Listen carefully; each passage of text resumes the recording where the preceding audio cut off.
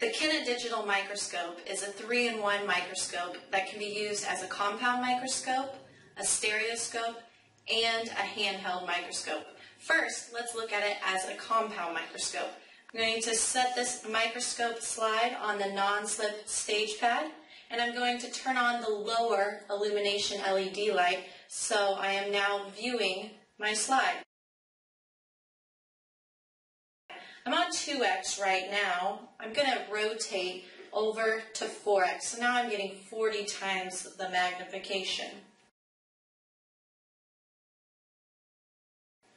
If you want to take a snapshot, you can touch the top button and I've taken a still snapshot of the slide.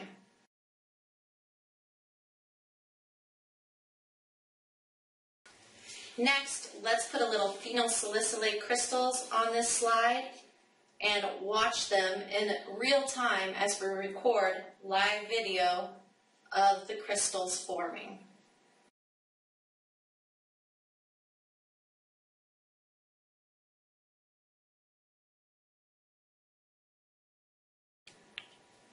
Now, let's use the Kena Digital Microscope as a stereoscope.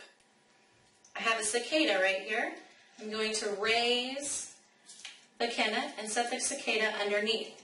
Now I can shut off my bottom LED light, turn on the top LED light, and focus in on my cicada. So now I have a digital limited stereoscope that I'm using.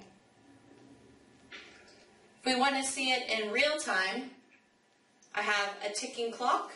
I'm going to set it underneath. And now you're going to be able to see the gears moving in Applied Vision 4 software.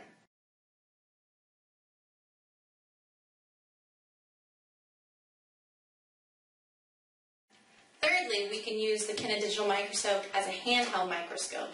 I take it off the base and I'm going to adapt the touch tube adapter to the microscope. This is going to protect your objective lenses. Now I'm going to turn my top lights on again and I can put it on anything. I could be viewing my hair, or I could set it on top of an object such as this starfish. There are many different options for the 3-in-1 digital Kena microscope.